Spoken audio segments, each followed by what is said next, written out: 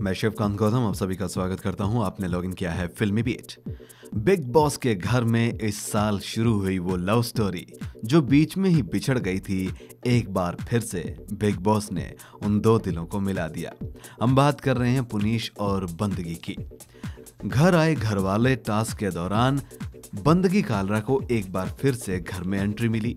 वो पड़ोसी बनकर पुनिश के नज़दीक तो आई, लेकिन बीच में एक दीवार बनी रही। आज बिग बॉस ने उस दीवार को भी दूर कर दिया, जब पुनीश और बंदगी को बिग बॉस के घर में एक बार फिर से गले मिलते हुए देखा गया। जी हाँ बिग बॉस ने घर वालों से मुलाकात के दौरान पुनिश और बंदगी का मेल करा दिया। बंदगी घर के अंदर दाखिल हुई और गार्डन एरिया में उनका स्वागत किया पुनिश ने। पुनिश ने उन्हें गले लगाया, गालों पर चूमा और उनके बारे में ये पूछा कि बाहर सब ठीक है ना?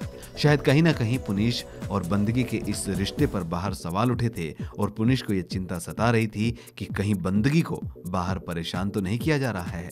लेकिन बंदगी ने पुनिश को बताया कि बाहर सब ठीक है। प्यार जो शुरू में एक झूठ से शुरू हुआ, सच्चा बनता नज़र आया और पुनिश और बंदगी का ये रिश्ता वाकई में ही प्यार और मोहब्बत का रिश्ता बनता हुआ नज़र आ रहा है। जिस तरीके से बंदगी ने घर में वापस आकर पुनिश को बर्थडे पर आई लव यू बोला और अब दोनों ने अपनी मोहब्बत का इजहार सबके सामने खुलकर कर दिया है।